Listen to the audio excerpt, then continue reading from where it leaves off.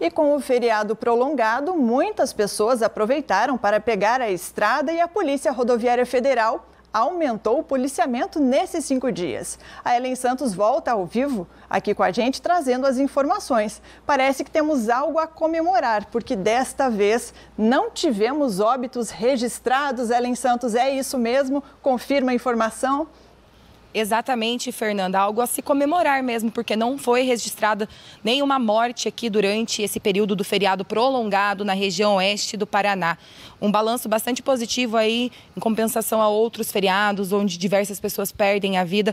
Mas a Polícia Rodoviária Federal intensificou as ações em todas as rodovias federais aqui para garantir a segurança, então, da população que resolveu pegar a estrada e aproveitar esses dias para descansar. Sobre esse assunto, a gente vai conversar agora com o Ricardo Salgueiro Salgueiro, que é policial rodoviário federal, para entender como foi o balanço dessa operação. Salgueiro, um ótimo dia para você. Explica para a gente, foi positivo em relação ao ano passado e aos outros feriados desse ano aqui na nossa região oeste do Paraná? Bom dia. Bom dia, Ellen.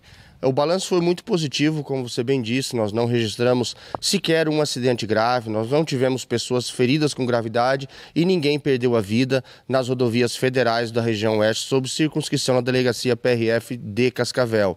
Esse é resultado do comportamento do condutor e de ações de fiscalização que nós vínhamos realizando nos dias que antecederam esse período de feriado prolongado, exatamente para chamar a atenção dos condutores da forma correta de se portar nas rodovias, tendo um aumento do fluxo bastante grande para evitar se envolver em acidentes. E o número de veículos aumentou realmente aqui na região? Como que foi durante a fiscalização?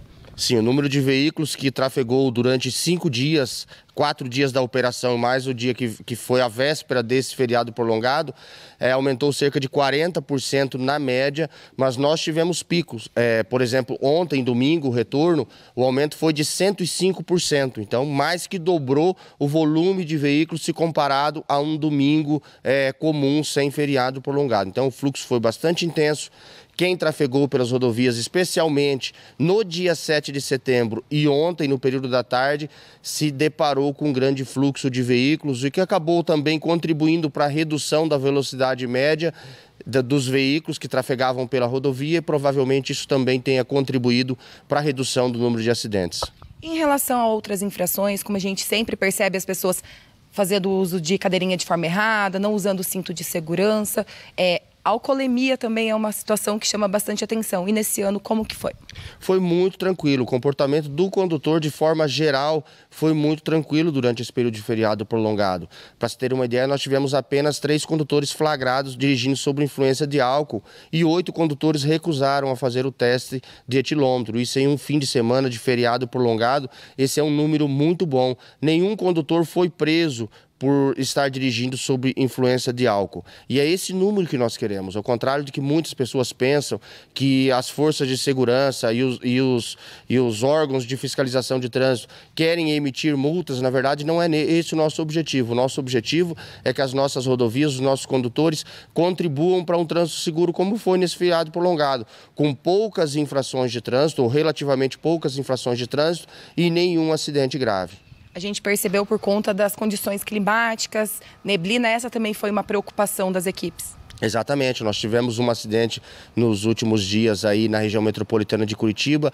acabou chamando muita atenção esse acidente e a imprensa apoiou muito nisso, porque nós, nós tivemos um espaço amplo em todos os órgãos de comunicação, repassando orientações a respeito de como conduzir sob essas condições, que é uma condição adversa, a condição de chuva e neblina, mas mesmo assim, com dois dias de chuvas torrenciais, nós tivemos um trânsito tranquilo. Nós tivemos aí um registro que esse não é tão positivo, mais de 800 condutores foram flagrados pelos nossos radares portáteis, inclusive com registros de condutores trafegando acima de 130 km por hora em locais da rodovia onde o limite é 80 km por hora. Por isso nós vamos continuar com essa intensificação da nossa presença com os radares portáteis, para que esse número de infrações reduza. Nós queremos que o condutor se acostume com a nossa presença, especialmente naqueles locais onde a incidência de acidentes é maior, para que ele se acostumando com a nossa presença, ele mude o seu comportamento e reduza a velocidade.